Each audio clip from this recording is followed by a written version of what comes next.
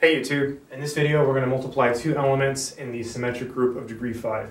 So the multiplication usually takes place right to left, so we're going to start with the right. You can pick any number between 1 and 5, we'll start with the number 1. 1. So 1, so 1 goes to 5. And you look over here, you say where does 5 go? 5 goes to 2, so 1 goes to 2. So again, you look here, this means that 1 goes to 5. Then you look over here, and you look for the 5, okay, 5 goes to 2. That means 1 goes to 2. Then you go to the next one, so 2. Where does 2 go? 2 goes to 1. Then you look over here, you say, where does 1 go? Ah, 1 goes to 3, so 2 goes to 3.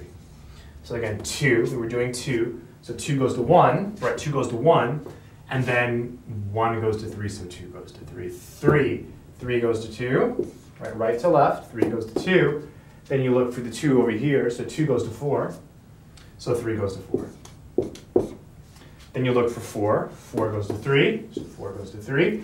Where's the 3 go? You look over here, so 3, 3 goes to 5, so 4 goes to 5. Boom. So again, we did 4. Let's do it again, going pretty fast. So 4. 4 goes to 3. Then you say, okay, where does 3 go? Okay, 3 goes to 5, so 4 goes to 5. 5. 5 goes to 4. 5 goes to 4. You look over here, well, 4 goes to 1. All but 1's over here, so close it. Really nice. 1, 2, 3, four, or five. That would be the answer. Hope that made sense.